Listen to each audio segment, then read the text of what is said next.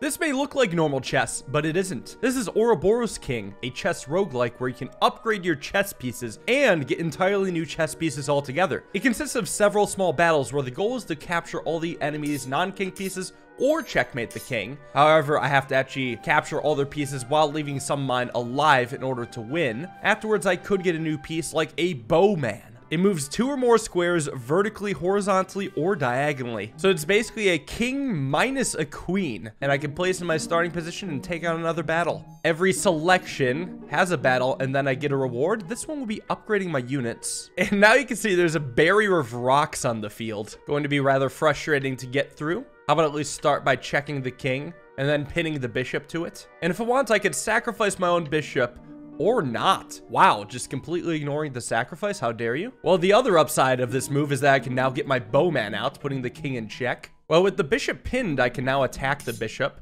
Oh, he's taken my knight. Yeah, I'll grab that back because I know that the bishop is soon to fall and another victory. So I could upgrade my bishop, my knight, or my king. Oh, my knight gets wings. My bishop gets a funny hat. Let's go with Pegasus Rider. It basically lets you do two L's in one move, but the L's have to be in the same direction. If I win this fight, I get a relic. My opponent has a Viking. It's basically a king plus a king and a Pegasus Rider, and you can see the distance of which this can move. And why don't I start by getting my bowman into play? Oh, his Pegasus is threatening my rook. But decided I don't care. I think I'll sack the bowman to take the Viking. I have strength in numbers, so I'd want to use it. Right now, I can't do too much exciting stuff. I can put him in check.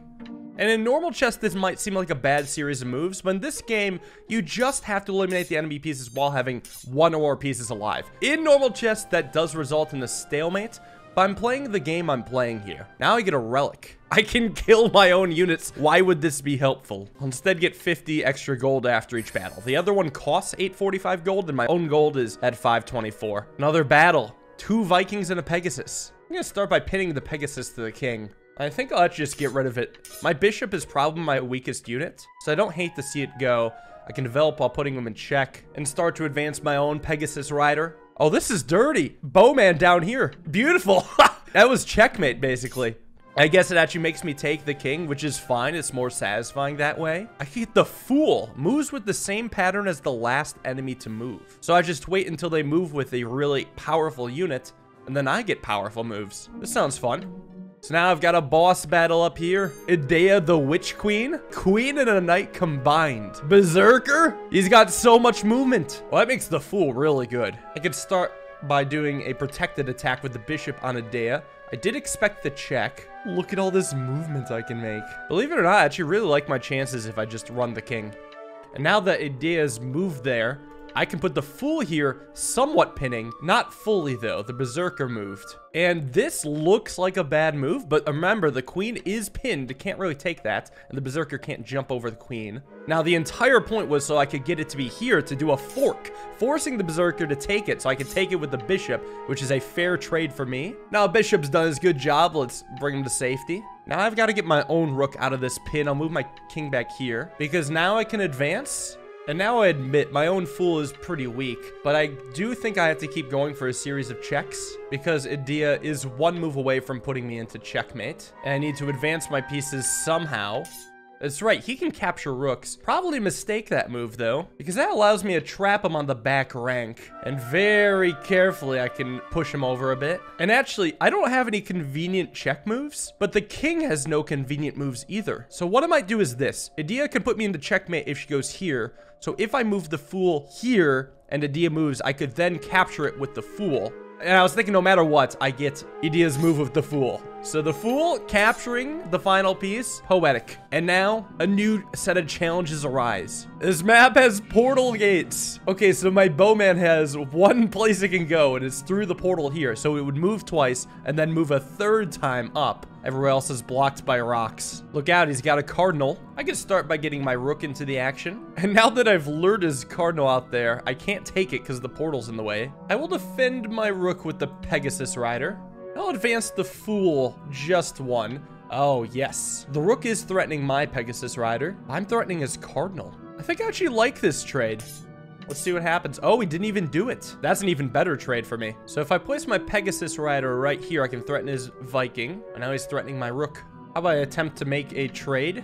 You can jump over... Oh, you move two times. So he moved diagonally, then diagonally, which is represented by jumping over my rook. Anyways, I will certainly take his Viking in exchange for my rook. Okay, it should show it going through the portal. It went through the portal. It just didn't represent it. I can now get my bowman into the action, putting his king in check. I can get his king in check again. My king is protected by the bowman, and by king, I mean Pegasus Rider. The portal cleanly lets my bishop change color. It'll hop through diagonally, hop out the other one diagonally, putting the king in check again, and letting me do a clean fork to win the fight.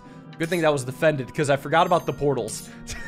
I, yeah, wow, that spot was defended, but you know, it works out. So now I have access to a shop. I could buy consumable items. I could buy a sphere of protection to protect the unit for one turn, preventing it from moving. Well, it sounds pretty good for my king.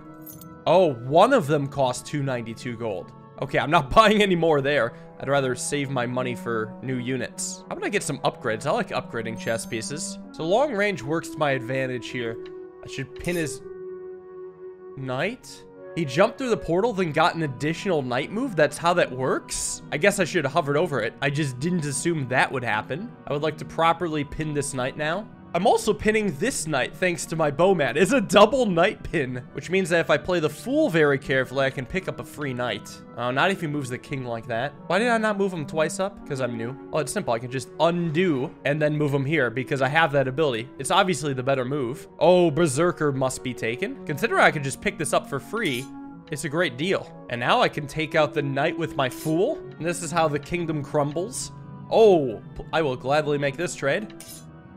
And now I get the final take. Looking good.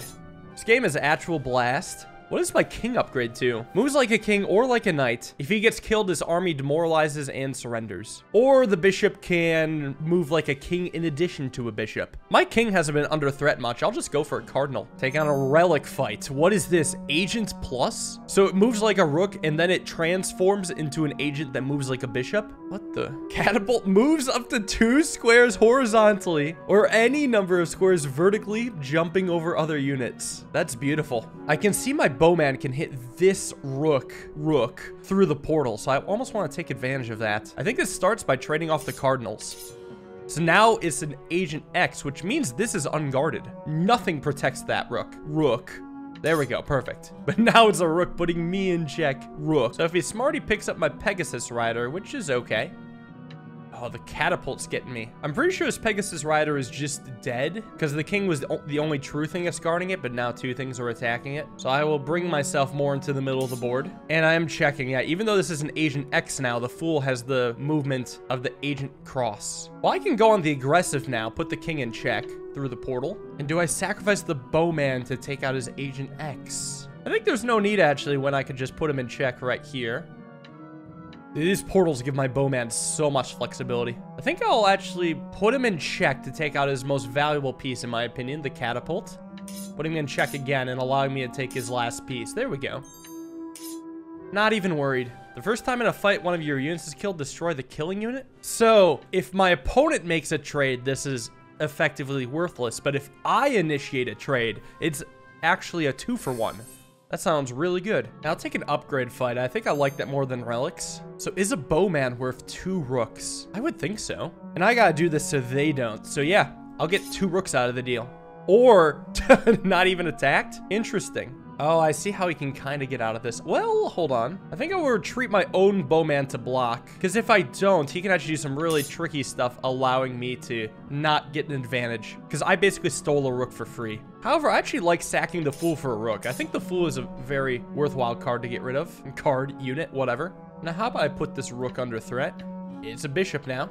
Okay, well, you're not scary, so I'll just keep putting you in check. I'll advance my Pegasus Rider, narrowing his chance of escape. This would appear to be checkmate. Thank you. Not often I get to take the king. That's nice. Speaking of king, I get a mounted king, which can move like a knight in addition to a king. It's fine. It allows me to get out of check in more ways.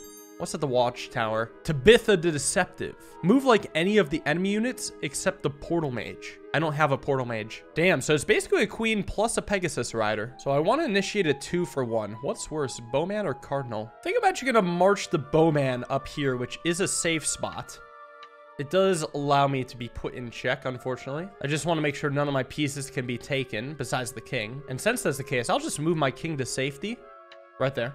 Oh, disgusting move by the Berserker. Wait a second. Because I have this pin on the knight, can't nothing actually take whatever takes the knight? Like, if I put the bowman into the knight, something takes it, it gets destroyed, and the cardinal gets a free shot on the king. So this is just a free piece. And now I have a discovered check. It's the best discovered check I have. Probably one that lets me attack this Berserker. Now I should watch out because the enemy pieces have relics. They can move a friendly unit to a square occupied by another one of their units to swap them. So they can castle with basically any piece. I don't know what to make of that. I'm actually just to flee this to a safe spot and now make my trade. Oh, is in fact just a free piece. Being in check is terrifying. Look at all the movement this has. Good lord. My fool being able to move like her barely matters. I need to be very careful with where I move my king. If there's any way for me to set it up for Tabitha to only be able to check me by taking a piece, I still have the spike shield. However, she's very crafty. My Pegasus Rider enables too much BS. So now I see the benefit of being able to take my own units. Why would this be helpful? Anyways, let's see if Tabitha is smart. Oh, she isn't. That's because I can simultaneously block Tabitha and pin her to the king. Like this. Although the Berserker blocking is dangerous. I think I can go really offensive with the Cardinal then. If I go here, putting him in check, can't take it with the King because the King actually dies. But then that forces Tabitha to take and Tabitha dies. So now I can win. Let's go! You know, the reason why I like this game is because it constantly feels like the mid-game of chess. There's no openings to memorize, and also the game ends really before we get into an end game. There's a bomb. If destroyed, it explodes, killing all units in adjacent squares. Well, let's go for a fast two for one. Uh, huh. Well, I think it then makes sense to get the Cardinal into here. Because right now, what are you going to take? What are you going to take, huh? You got to take something. Oh, you can counter check me. What happens if I take his king first? Does it let me? Okay. Good. Wasn't sure about that. I could get a unicorn cavalry, except I'm too broke. Kind of want another bowman. I think those are really good. Because one thing I can do is actually rearrange my army. So I can get both my bowmans in front and the fool in the back as a defensive unit. And now this fight lets me upgrade a unit afterwards. Crusader. Move any number of squares diagonally forward or vertically backwards. So it moves in like a Y? Anyways, this is a free queen. my knight is under attack, but I don't give a damn hitting my rook. Why don't I just simply do this? Because this is checkmate. Basically fortified himself, entombed. Ooh, I can get a relic because I have no units that can get upgraded. Every three turns, get an extra move. You can never move the same unit twice in a row or 500 gold for free. I like Cursed Staff. Wait, you can never move the same unit twice in a row. Actually, I don't like that. For a second thought, that meant only during the time of the bonus move that I couldn't move it twice, but that's not the case. Okay, so I got a lot of money. I can buy some valuable relics. So I can pick off the Cardinal with no issue, pick off the Queen with no issue, there you go. And it's basically over now. I might as well leave him just a fool. Get in there, Pegasus Rider. And I can actually feel fine about this fork because the bowman protects it. There we go. Move twice the first time you move in each battle. It can't be the same unit. I like that. I guess I could get a bunch of consumables after this. Manticore. Move one square cardinally, then any number of squares diagonally, and a Knight Templar. Move any number of squares diagonally or vertically without jumping over other units. So I can take out this Bowman for free unless the Cardinal wants to take it. Oh, I get an extra turn. Wait, wait a second. I could have maybe tried to set up a checkmate. Instead, I'll just take out two of his units. Yeah, that's fine too. How about I actually take out the fool now and start picking off his pieces? I mean, this is sad. This is sad, King. Is this showing up means he, meaning he surrenders? Wait, what? Oh, that's stalemate. You know, I don't, I don't fully agree with that. It would have been nice to at least have it say what it did after it hovered over, because you shake hands after checkmate too in chess. Thankfully, I don't really care about the rewards, and at least I now know what that does. It's just weird. So Andromeda of the Stars is the scary piece. Move one square cardinally, then any number of squares diagonally, or one square diagonally, then any number of squares cardinally. Terrifying. And they have a relic. Their units aren't affected by explosions. Nasty. Well, I think I'll just start by taking potentially two free pieces. I am in check. Wow. Okay, how exactly does it check me? Probably from this file. So if I go here, this blocks it. Maybe I could do it with the Fool. Nah. Well, Andromeda can go down to here, so I'll leave the Fool in that position. Whoa, hitting the bomb without hitting the bomb. This is weird. Why is Andromeda the Stars not able to go all the way down to my Pegasus Rider? What am I missing? I think I'll block it with the Pegasus Rider, see what happens. All right, the rook got sacked. Well, now this Pegasus rider is not safe. Shoot, neither is my bowman. Oh! Andromeda gets only two moves. So the first option is one square cardinally, then any squares diagonally. The second option is one square diagonally, then any number of squares cardinally. I definitely thought the second move was either any number of squares diagonally or one square diagonally, then any number of squares cardinally, resulting in a three move option. So it's only two moves. That makes it a lot more manageable. I think I'm to bring the Fool right here to implicitly protect the Pegasus Knight. Losing my Bowman stinks, but I didn't have any great options. I suppose if I want to, I could put my Pegasus Rider here, which is relatively protective and annoying. One thing I can do is fork the King and the Cardinal that's good. I'm pretty sure I have to take the cardinal instead of going for the fork here. Yeah, I'm pretty sure the fool protects this square anyway. I think the play is to make this trade because my bowman wasn't too good. But the main thing is this square is unguarded. So I'll get the knight in a pretty good position. Okay, if I move the Pegasus Rider again, I get my king taken. So don't do that. I guess I can move my king out of danger then. It's a bishop now. Wait, but I can take it. Trying to figure out if there's a downside to taking it. Andromeda can't really do anything. The Fool can't do anything. And we all know the King won't be able to do anything. Okay, Andromeda can take back there. That was the one thing she can do. And honestly, I don't like it. Maybe undo then? Yeah, I need to keep my Fool alive just to balance out the Andromeda of the stars. Oh, but if I don't take my Pegasus Rider dies. Crap. I mean, I could protect the king and move the Pegasus Rider. Well, if he takes the Pegasus Rider, then I take his Fool. That's actually okay. See what happens if I move back here.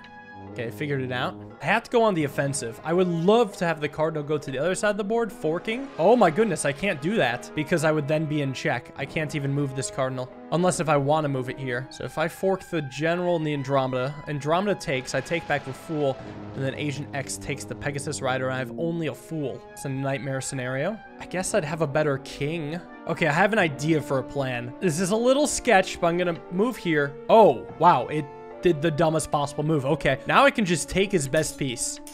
Okay, game's looking good now because I can pin the agent plus to there. How can I tip the scales in my favor now? I think I'm now going to start moving my king. And I like putting it here. There's no immediate checks. It does put my cardinal under attack. I'm actually going to take an undo. No, wait, it was right because the rook's currently not pinned. No, no, no. I like this because the rook is now pinned. I've got to get the cardinal out of the way now, which is right here putting me in check, but not terribly so. I will now gladly offer up a fool trade.